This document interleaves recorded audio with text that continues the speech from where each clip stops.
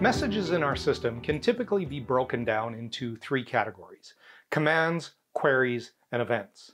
Let's look at these in detail.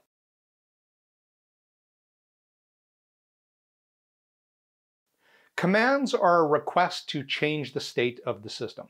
For example, adding a user or creating a vehicle is a request to change the state. When they are sent, they can either be accepted or rejected. Because it may be important to know whether the command was successful or not, they're often handled synchronously. You send a command and you wait to see if it was accepted.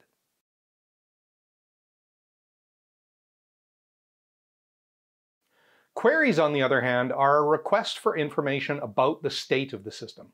If you want to know the details of a user or a vehicle, those would be queries.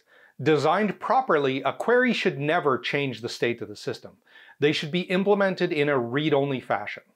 Like commands, you often send a query and then wait for a response. They're often handled synchronously.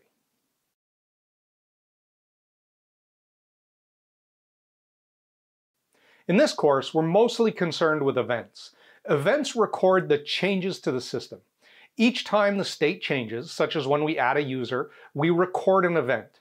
They always represent something that happened in the past and are therefore expressed as past tense. User added or vehicle created, for example.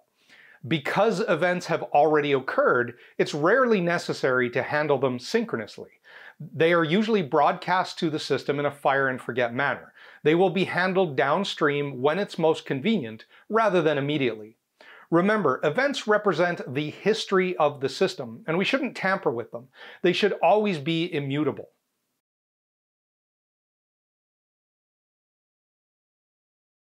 We tend to think about systems in terms of commands and queries. We issue commands to change the state, we issue queries to access that state we often don't think too much about what the impact of those state changes might be.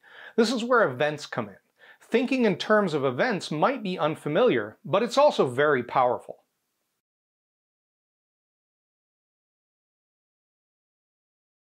When we begin to build systems of events, it opens a lot of doors. Their asynchronous nature makes them easier to distribute and scale.